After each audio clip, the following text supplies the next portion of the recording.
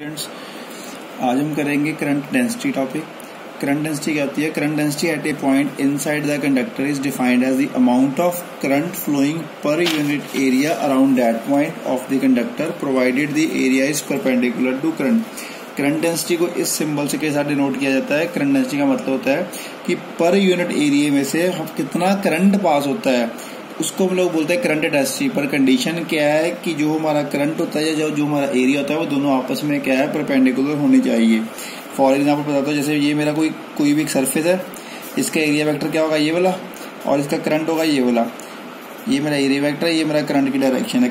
Area और current की direction अगर परपेंडिकुलर होंगे, उस केस में पर यूनिट एरिया में से कितना करंट पास होता है, उसको हम लोग बोलते हैं करंट डेंसिटी और ये याद रखना current density is a vector quantity current density is a vector quantity but electric current is a scalar quantity ये क्वेश्चन आया हुआ है कि electric current is a scalar quantity and current density is a vector quantity unit of current density क्या होगा? Unit क्या बन जाएगा?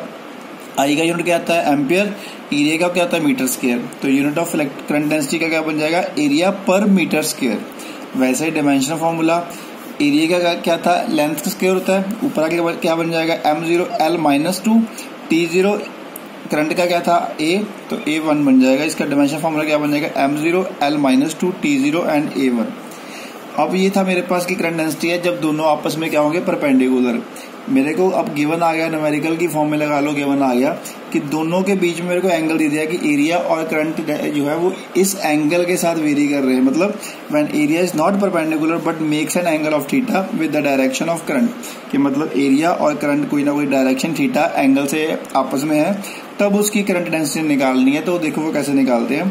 करंट डेंसिटी का फॉर्मूला क्या था? J is equal to I upon A ये फॉर्मूला तब है जब दोनों के दोनों आपस में परपेंडिकुलर है तो। बट मेरे को भी थीटा दिया है। अब देखो मैं कैसे निकालता हूँ। I is equal to J into A आ जाएगा। अब इसके मैंने ये मेरे मेरे पास एरिया था ये वाला।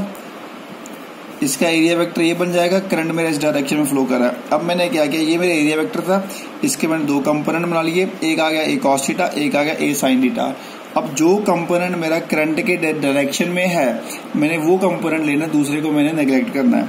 ये मेरे पास बन जाएगा जे एथ वेक्टर था।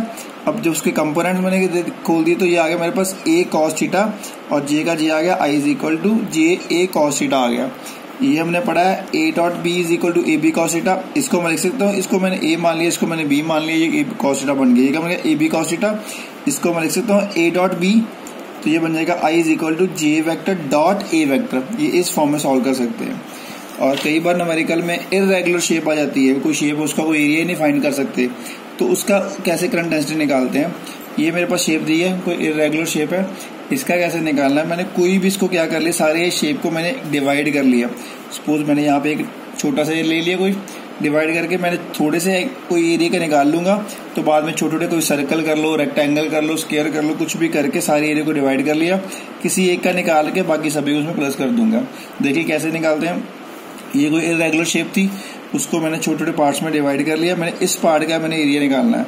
तो इस पार्ट का मेरे पास जो एरिया वेक्टर आएगा। जैसे ये मेरे पास पार्ट है इसका एरिया वेक्टर ये डायरेक्शन में हो जाएगा। इसमें देखिए formula J is equal to small current है। तो एरिया भी स्मॉल अमाउंट में आ जाएगा। क्या आएगा? J is equal to D I point D A उसमें D I is equal to क्या आ जाएगा? जे इंटू डी ए मेरे को आई निकालना है तो मैंने दोनों तरफ़ इंटाग्रल कर दिया। तो I is equal to integral of J dot D A ये बन जाएगा जे डॉट ए ये बन गया चीज़। इसको मैं लिख सकता हूँ। कॉस्टेटा की फॉर्म अगर एंगल गिवन हो उस फॉर्म में, नहीं तो एंगल गिवन नहीं गिवन है तो ये सिंपली हम फॉर्मूला में यूज़ कर सकते हैं। तो आ जाएगा I is equal to integral of J dot D A thank you